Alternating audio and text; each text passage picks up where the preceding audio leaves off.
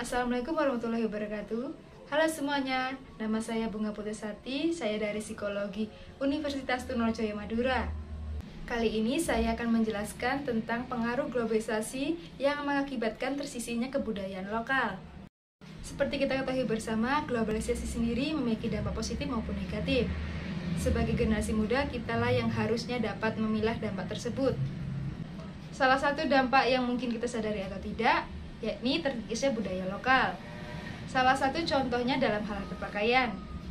Semakin modern, semakin beragam pula bentuk pakaian. Seakan kita lupa bahwa Indonesia memiliki pakaian lokal yang harusnya tetap dikenal masyarakat Indonesia, yaitu pakaian batik. Batik sendiri merupakan kebudayaan lokal yang harus kita lestarikan.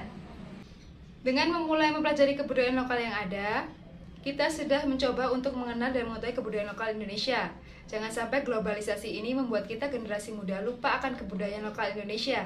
Jadi mari generasi muda lestarikan kebudayaan lokal yang ada di Indonesia dan ayo memakai batik.